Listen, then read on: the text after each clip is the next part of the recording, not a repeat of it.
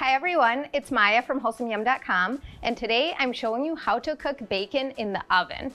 You guys, I've made bacon every which way. I've made it on the stove top, of course. I've made it in the air fryer. I've even made it in the microwave.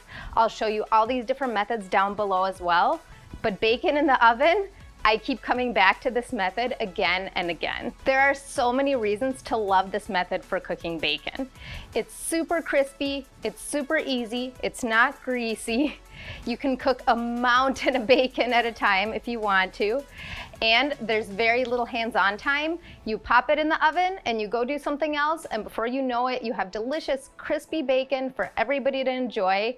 You guys are gonna love this. If you've never cooked bacon this way before, don't worry, it's super easy. But also, if you have cooked bacon in the oven before, I have a special trick I'm gonna show you that makes it even crispier, even better. By the way, I love making simple, real food tutorials like this one.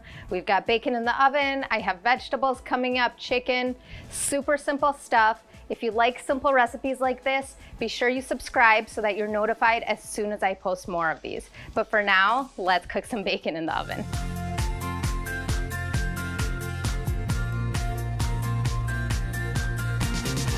Okay, so the first thing we're gonna do is grab a large baking sheet, I love this one because all the bacon can fit in a single layer. It can fit at least 12 slices, sometimes more. We're gonna line this with aluminum foil. I like to use this large piece of foil so that it folds over the edges for easy cleanup.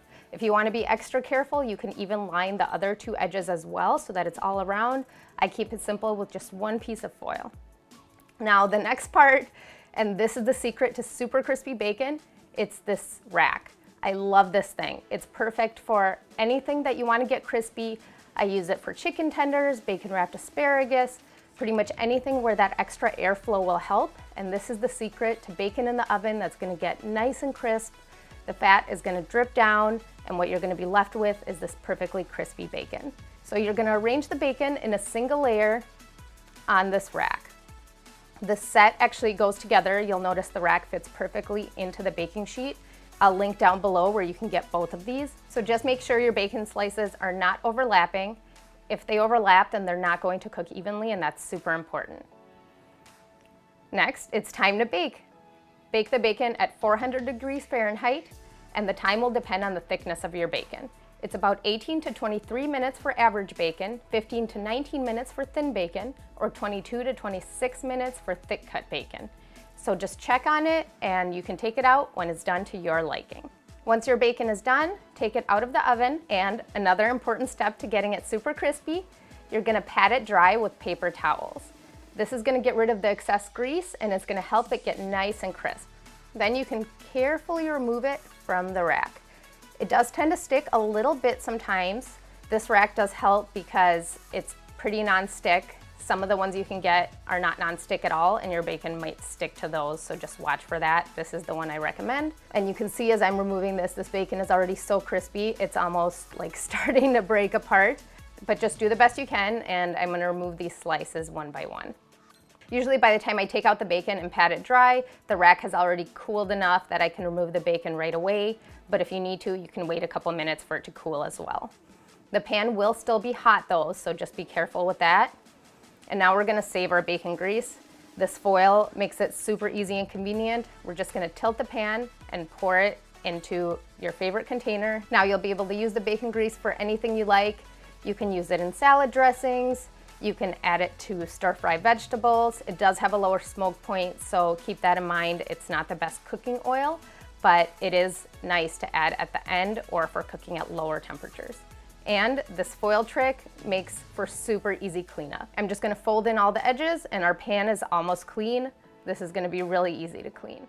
See, I told you this was easy. We got a whole big plate of bacon, very little effort. One last trick here. After you've patted dry the bacon, after you've transferred it to a plate, let it cool down for just a few minutes.